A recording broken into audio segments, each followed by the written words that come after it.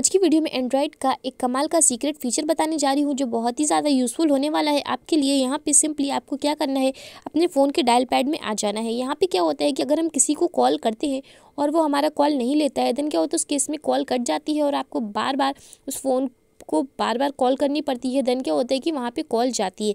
लेकिन यहाँ पे एंड्रॉयड में कमाल का फीचर है, आपको थ्री लाइन पे क्लिक करना है सेटिंग पे क्लिक करना है और उसके बाद यहाँ पे एडवांस सेटिंग पे जाना है और यहाँ पे आपको एक ऑप्शन मिलता है रीडायल ऑटोमेटिकली ये सेटिंग ऑन कर देनी है और जैसे ही आप यहाँ पे ऑन करते हो, उसके बाद क्या होता है कि अगर आप किसी नंबर पे कॉल करते हो, वहाँ पे आपका कॉल कोई रिसीव नहीं करता है, कट जाता है तो यहाँ पे ऑटोमेटिक ही वो नंबर फिर से रीडायल हो जाएगा। आपको बार बार रिडायल करने की ज़रूरत नहीं है।